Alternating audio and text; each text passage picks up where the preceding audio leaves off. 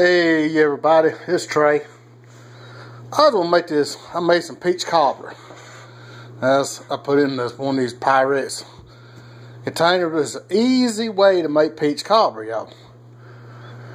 I bought a one, I think it was one pound, maybe 16, 12 or 16 ounce package of peaches frozen.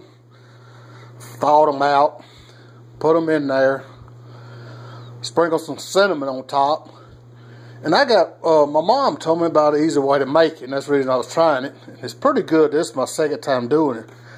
And you put a cake mix, just regular old yellow, you know, yellow cake mix, white, whatever you might want to like. I bet it'd be good with chocolate cake. You just put it on top, you know, just the powder that's in the cake mix. Put it in the oven about 350, about 30 minutes, 40 minutes maybe, it's done.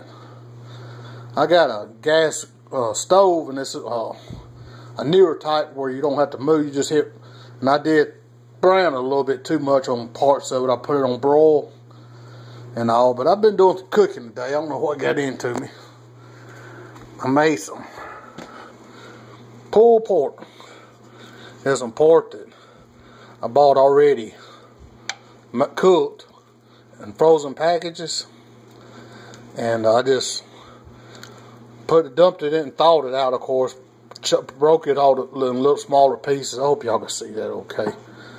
Barbecue sauce, put in the crock pot.